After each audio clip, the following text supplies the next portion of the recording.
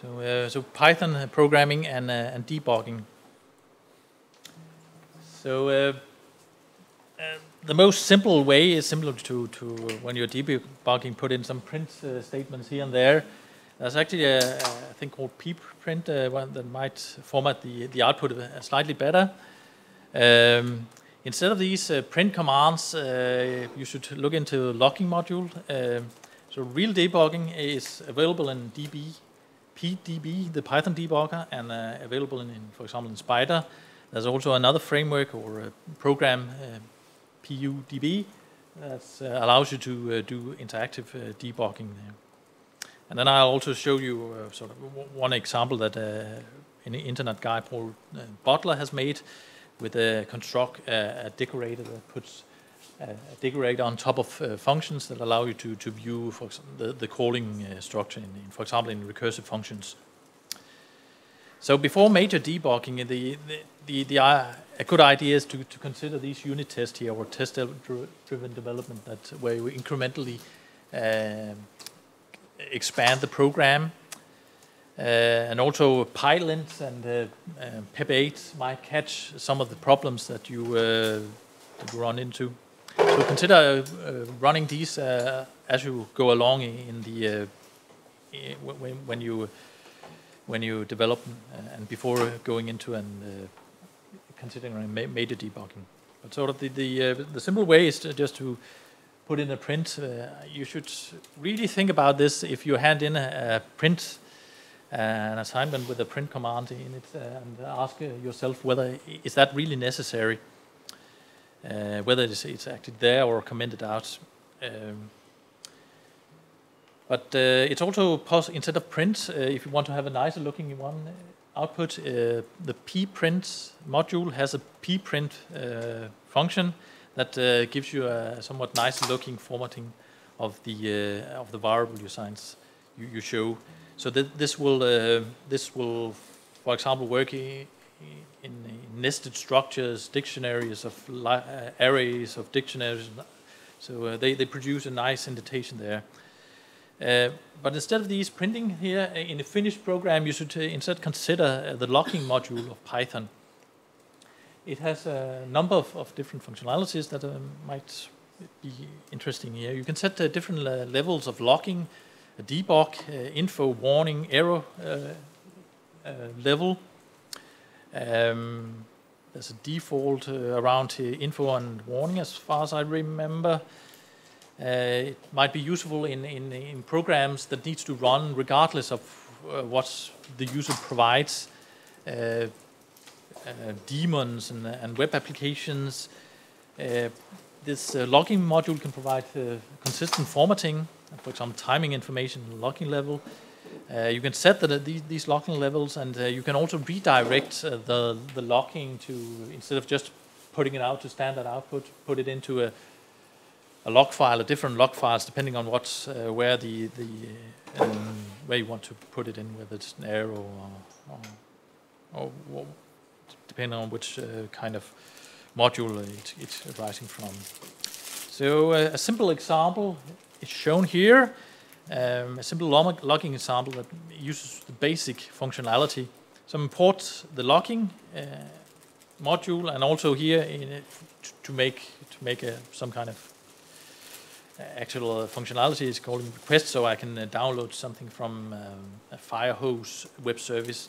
So what I do here is uh, first issue a debug message that I write myself and then uh, try to to download some information from this Firehose and put it into a, a dictionary of arrays, dictionary, uh, and uh, then in the items there, there's a list of dictionaries with the, the feeds from this Firehose. If uh, this is not, uh, if there's an error here, there's an exception, and the exceptions output a warning that it could not download feeds from, from OOF Firehose. And then uh, we print out the, these, um, what, what's in a particular field in, in each item here, the content, which is the text of, a, of a, this microblogging service that are aggregated in uh, O Firehose.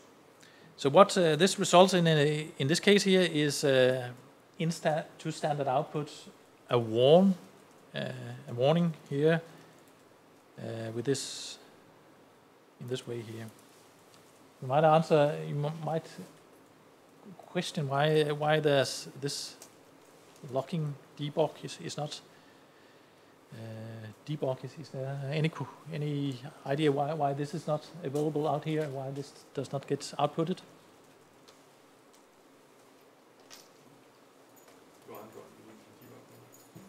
Yes.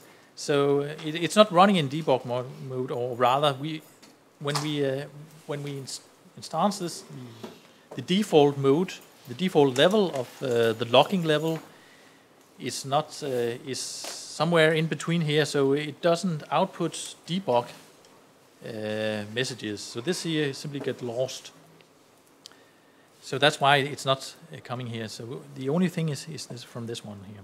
A more elaborate example is, is here where we set up the log file, uh, change the formatting, and uh, change the locking level.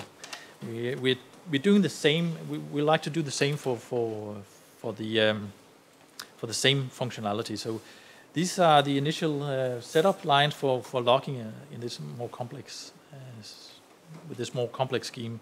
So I construct a logger, call it here OpenFeed and uh, then I will like to have a specific file name placed. Here I call it openfeed.log. File name, I put it into, set up the handler for, for that file name, and uh, then uh, make uh, changes in the formatting. So what I have here is the time of the log message and the level and the message itself.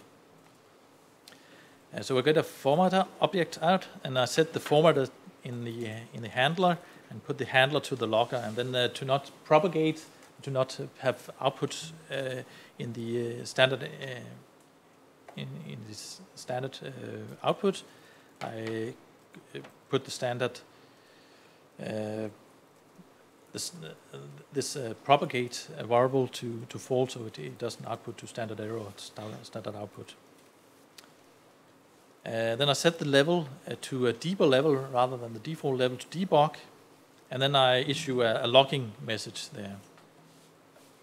So now I have a logger module, a sort of a logger object that I can um, that I can use. So instead, in the first case here, I used logging that is uh, directly calling functions in the module, defining functions. While here, I've set up uh, the, the logger module, and then I need to call that logger.debug. I put out uh, Besides that, uh, it's the same. Uh, we have the logger warn here and the logger debug up here. So when I execute that one here, there's no uh, longer any standard output from um, from this script. Rather, it runs into uh, the open feed log.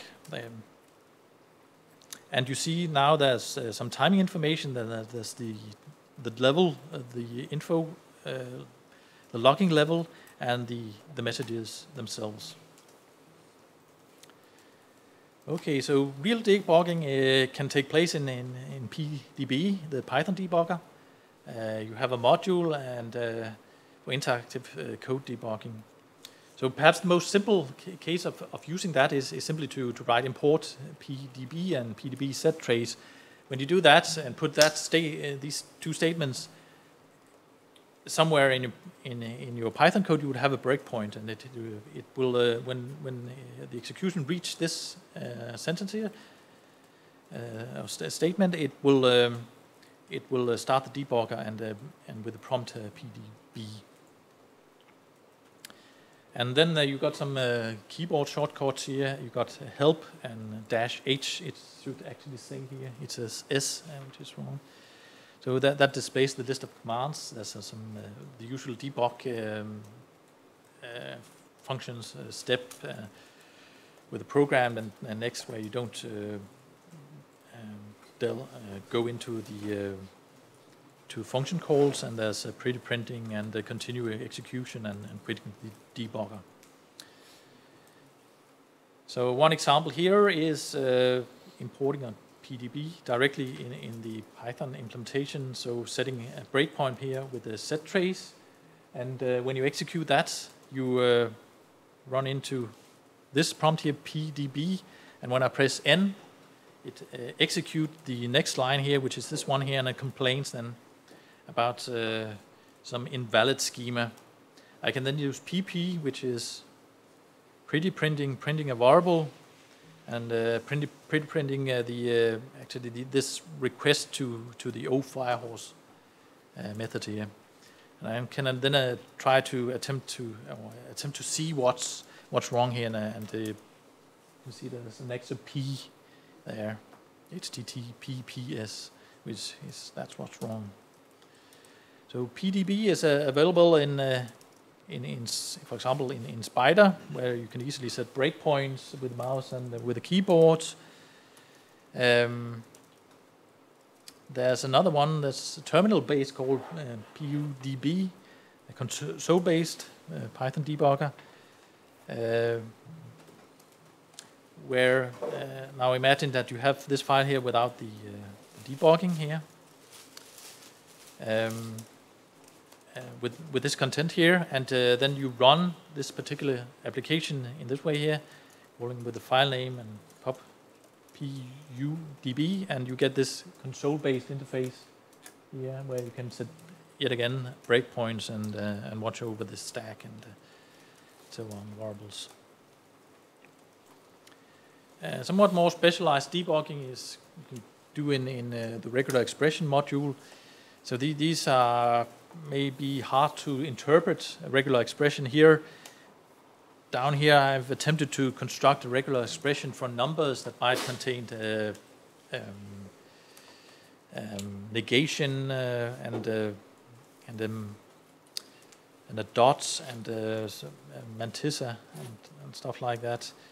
So the, it might be difficult to, to debug that. Uh, there's a flag debug uh, for in, in the re module which might perhaps get you an over better overview. It, it reports this one here. Um, you can try to go in and see whether it's uh, read it in a, in a slightly different way. Uh, this is not necessarily the, a very uh, intuitive way of, of viewing this. Um, one interesting uh, thing that I found out was a guy called Paul Butler and uh, a debugging decorator he did. Uh, you can put on a misbehaving function. So a decorator is a, a, a, function that can wrap around another function. In this case here, uh, what's happening is that we capture the input arguments, both the, the positional arguments and, and, the keyword arguments, and uh, count up the number of uh, calls to the functions in the call count variable and uh, also uh, print out the the value of the arguments as well as the function name and uh, stuff like that. We have the function name here, um, and we have the arguments, positional arguments here, and the keywords arguments down here formatted somewhat quickly. And then count up the number of uh, input arguments and format them here. And also uh, keep track of the indentation so uh, this here, uh, when, when you define this function here, you can use it as a decorator and uh, like with the at sign reports and put that around another function. So here I'm written as somewhat uh, Fibonacci-like function. I call it not really Fibonacci, which because it's it's not implementing the Fibonacci functionality. Um, but I have a recursive function here. My, might get me into trouble because it's it's difficult to um, to debug these here. Uh, so it, uh, I put the decorator up here, and now it wraps around. And when I when I execute this function here, uh, it will uh, it will also execute these here rather, and uh, call the original function down here with this function call here. So it will also call this one here. And you see the uh, the number of times it's it's called the recursive function. It's called one, two, three, four, five, and uh, what the input arguments is uh, in the different stages of the recursion. Okay, so there's uh, not that much information about debugging in, in books. I difficult to find. There's some things about tracing Python, Python code uh, with the line trace and line catch cache. Um, But in summary, uh, print should uh, rarely appear in a finished program. It's, it's, uh, or at least you should question why you have print in, in your in your final program. So it's better to use uh, the login module to to have a logging facility. And uh, PDB is the Python debugger with a simple command line interface, and you have it available in, in Spyder and PubDB. Uh, and PUDB.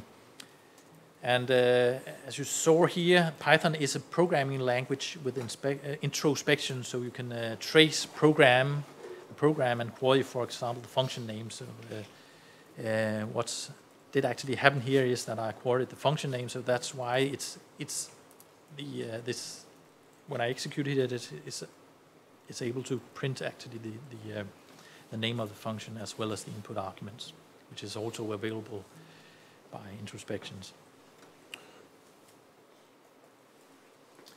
Okay.